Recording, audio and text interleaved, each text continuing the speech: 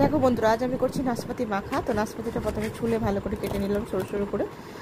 সরু সরু করে কেটে নিয়েছি, দেখো সুন্দর করে। এবারে পুদিনা পাতা কিছুটা দিয়ে দিলাম। কিছুটা ধনে পাতা দিয়ে দিলাম দিয়ে দিচ্ছি কিছুটা। একটা কাঁচা লঙ্কা দিয়ে দিলাম, দিয়ে ভালো করে থেতো করে নিচ্ছি। দেখো সুন্দর করে থেতো করে নিলাম। দেখো আমার থেতো করা প্রায় হয়ে গেছে, তো আমি থেতো করে চামচ দিয়ে তুলে নিলাম। ওর মধ্যে দিয়ে দিলাম নাশপাতি কুচনোর মধ্যে, দিয়ে দিলাম বিটনুন দিয়ে দিলাম একটু কাসন্দি ভালো করে মাখিয়ে নিচ্ছি। দেখো কত সুন্দর মাখাবো। এত সুন্দর মাখানোটা হয়েছে, কি বলব বন্ধুরা? তা দেখো না, দেখতে কত সুন্দর লোভনীয় লাগছে না? আর দিয়ে দিচ্ছি একটা পুদিনা পাতা ডেকোরেশনের জন্য।